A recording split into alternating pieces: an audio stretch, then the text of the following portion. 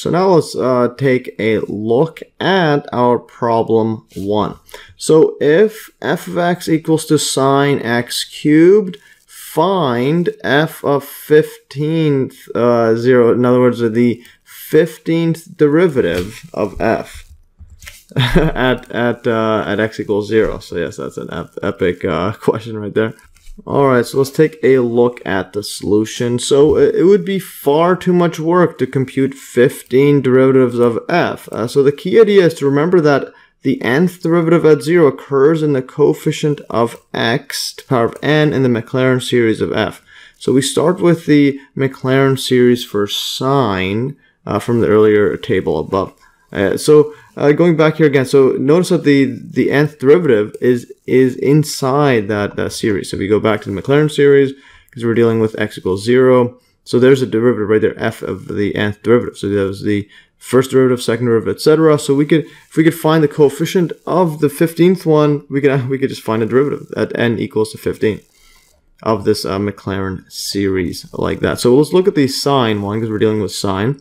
So sine is equal to this summation, but we'll just look at here. r is equal to infinity. You have x minus x cubed divided by 3 factorial plus x5. So the, it's always odd, and it's going from minus plus, minus plus, and yeah, and they're just odd power and odd factorial.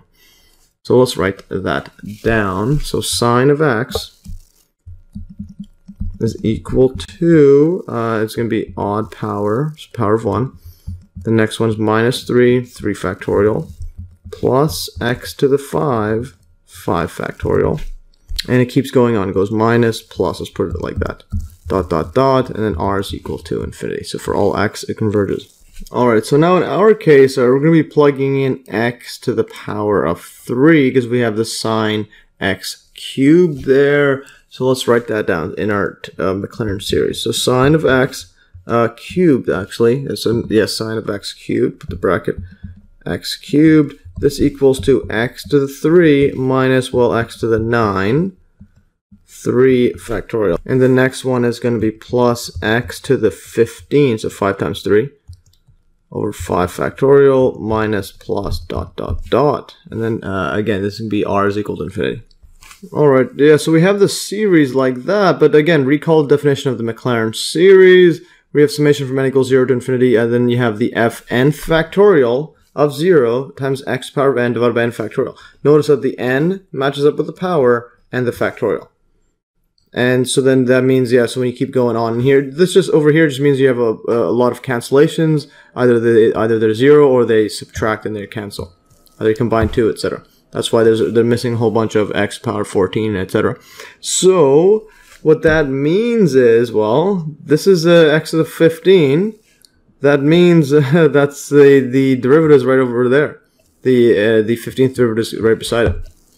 So, and, and yeah, so that means that this part right here, but for n equals 15, let's put it actually like this, for n equals 15, matches with this 1 over 5 factorial.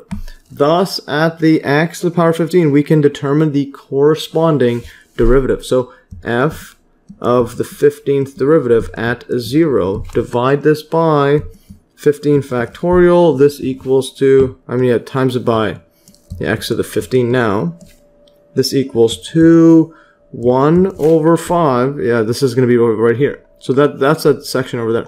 Equals to 1 over 5 factorial times it by uh, x to the power of 15, like that.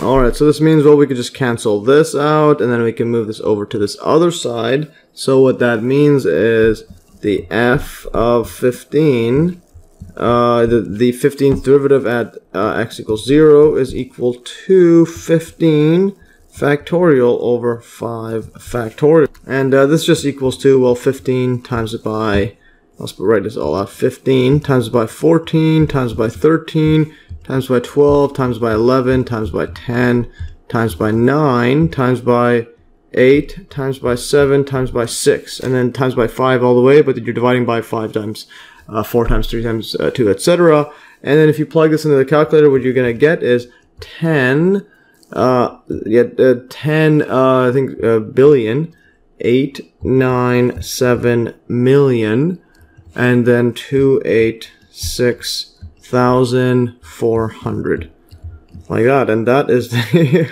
15th derivative at x equals 0 and uh, now let's do a calculation check on this. So well, my OneNote has a built-in calculator uh, and uh, yeah so you could just uh, type it around here 15 times 14 etc all the way to the 6 and if you do this here oops let's go back here uh, equals yes it, it, just uh, rounds up to 1 power of 1e times uh, yeah, 1 e10, this just equals to 1 times 10 to the power of uh, 10.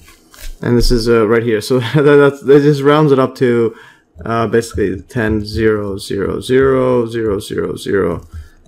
So that's a 9 plus 1. Yeah, so that just rounds it up there. So we're on the right track, but we need a better calculator because, uh, yeah, just uh, it doesn't have, the calculator is not that good, just rounds it up.